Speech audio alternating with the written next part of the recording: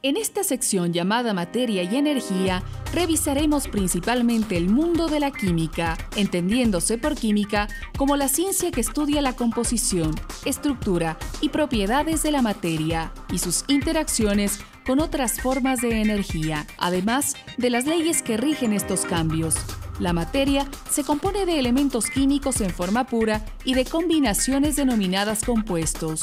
Se sabe que alrededor de 25 de los 92 elementos naturales son esenciales para la vida. La propiedad de un elemento depende de la estructura de sus átomos. La formación y la función de las moléculas dependen de los enlaces químicos entre los átomos. La química tiene íntima relación con la física, ya que la física estudia todas las leyes que rigen el universo a nivel macroscópico y nivel microscópico. Lo hace la química. Gracias a esta relación, el ser humano ha hecho innumerables descubrimientos, desde el fuego y su importancia en la evolución humana hasta la ingeniería genética. Otra creación con la que el hombre avanzó en su desarrollo fue la pólvora en el siglo IX, elaborada por los chinos cuyos principales compuestos son 75% de nitrato de potasio, 15% de carbón y 10% de azufre. En fin, la física y la química han permitido el desarrollo de la humanidad, creando máquinas y aparatos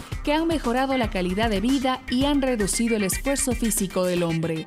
El presente módulo está enfocado en realizar una vista panorámica de los aspectos básicos más relevantes de la materia y energía. Se ha dividido en cinco subtemas para que el análisis sea concreto. Estos temas son Propiedades físicas. Propiedades de la materia. La materia en la Tierra y el universo.